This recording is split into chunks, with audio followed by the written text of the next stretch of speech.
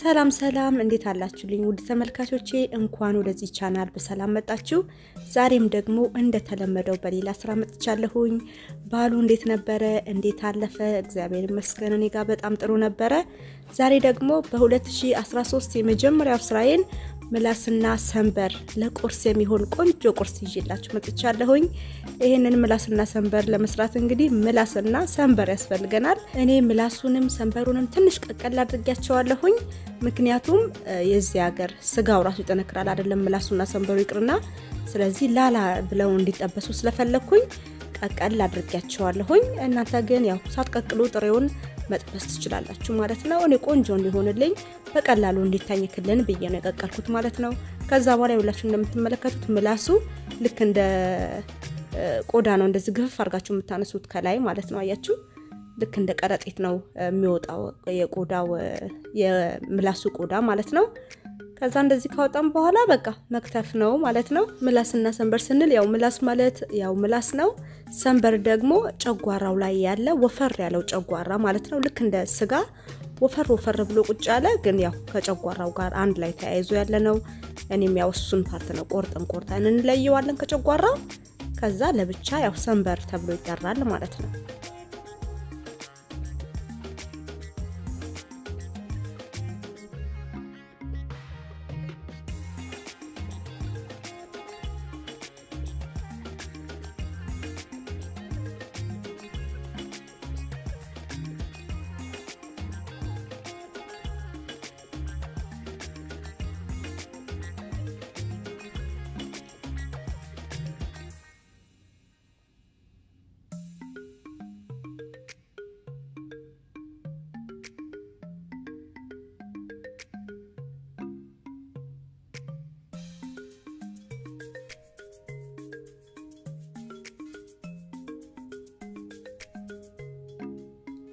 ምላሱንም ሰንበሩም እንደዚህ ከከተፍን በኋላ ከዛ ደግሞ ስጋ ጨምርበታለሁ። ምላስና ሰንበር ታውቃላችሁ፣ በጣም ትንሽ ናት። ምላሷም ትንሽ ናት፣ ሰንበሯም ደግሞ ትንሽ ናት። የበሬ አይደለም የፍየል ሰንበርና ምላስና ሰንበር ነው።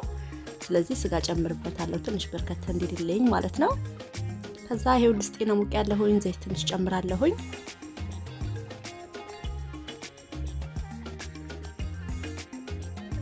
እንደነገርኳችሁ ምላስና ሰንበሩ ትንሽ ስላበሰልኩት ቅድሚያ ከስጋው ጀምራለሁ ማለት ነው።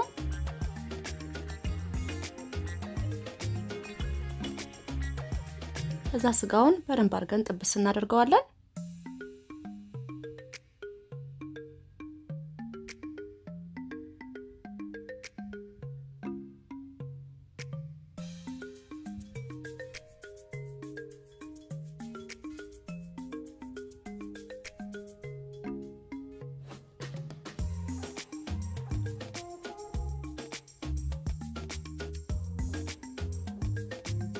እንደዚህ ስጋውን በደንብ ጥብስ ካደረግኩት በኋላ ከዛ ምላስና ሰንበሩን ጨምራለሁ። በነገራችን ላይ ምላስና ሰንበሩ እንደነገርኳችሁ እንደዚህ ቀቅሎ ማዘጋጀቱ ትንሽ መቀቀሉ በጣም ጥሩ ነው። ምክንያቱም ኢትዮጵያ የምታስታውሱ ከሆነ በተለይ ሰንበሩ በጣም ድርቅ ይላልና እንደዛ እንዳይሆንብን ትንሽ ከንፈል ማድረጉ አንድ 10-15 ደቂቃ በጣም ጥሩ ነው። ከዛ ነጭ ሽንኩርት ጨምርበታለሁ። ትንሽ አብሬ ከስጋው ጋር ጥብስ ካደረግኩት በኋላ ነጭ ሽንኩርትና የመጥበሻ ቅጠል እንጨምራለን ማለት ነው። ከመጥበሻ ቅጠሉና ከነጭ ሽንኩርቱ ጋር ለትንሽ ደቂቃ አሁንም ጠበስ እናደርጋቸዋለን።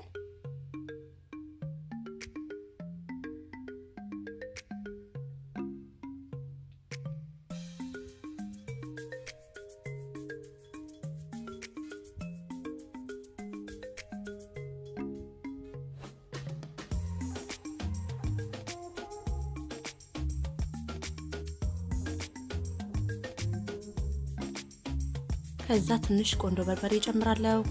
ጨው እንጨምራለን። ከዛ ቀይ ሽንኩርታችንን እንጨምራለን። ከዛ ቀይ ሽንኩርቱ ትንሽ ሙሽሽ እስከሚል ድረስ ለትንሽ ደቂቃ አብረን ጥብስ እናደርጋቸዋለን። አሁንም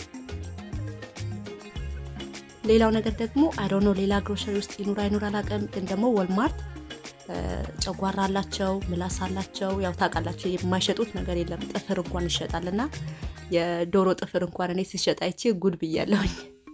ስለዚህ ጨጓራውም አለ ምላሱም አለ ሁሉም አለ ወልማርት በተለይ ማለት ነው። እኔ ወልማርት አይቻለሁኝ። ሌላ ቦታ ይኖር አይኖር አላውቅም። ስለዚህ ለምትፈልጉ ሰዎች ከዛም ገዝታችሁ መስራት ትችላላችሁ ለማለት ያህል ነው። ከዛ ትንሽ መረቅ እንዲኖረው በጣም ድርቅ እንዳይልብን ትንሽ ውሃ ጨምሬበታለሁ።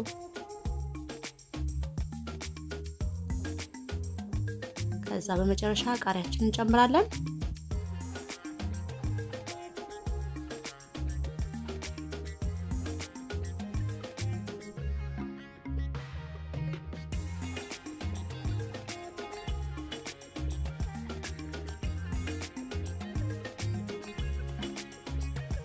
ቃሪያችን ትንሽ ሙሽሽ ካለ በኋላ በቃ አወርደዋለሁኝ። በቅቶታል ማለት ነው። ከዚህ በላይ ይገነትርብናል እሳት ላይ ካቆየነው ከዚህ በላይ። ከዛ ይኸው እዚህ ጋር የማቀርብበት ሸክላ ግያ አዘጋጅቻለሁኝ። አዋዜ አዘጋጅቻለሁ። እንጀራ ቀርበዋል። በዳቦ በእንጀራ በፈለጋችሁት ነገር ለራት ሊሆን ይችላል፣ ለምሳ ሊሆን ይችላል፣ ለቁርስ ሊሆን ይችላል። አፒታይት ካላችሁ እንደየፍላጎታችሁ እንግዲህ በእንደዚህ መልኩ ምላስና ሰንበር ሰርተን መመገብ እንችላለን ማለት ነው። የእውነት በጣም የሚጣፍጥ ምላስና ሰንበር ነው።